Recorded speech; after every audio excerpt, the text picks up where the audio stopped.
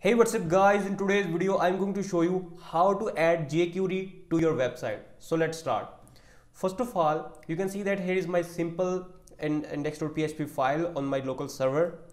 You have to open the Google and type jQuery.com here you will see a download button. Click on the button.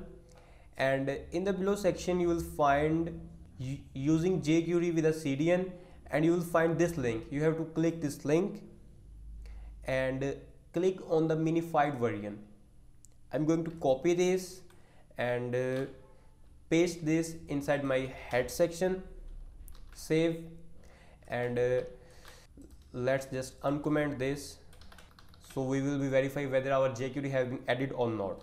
So refresh the page so you can see that this is the alert.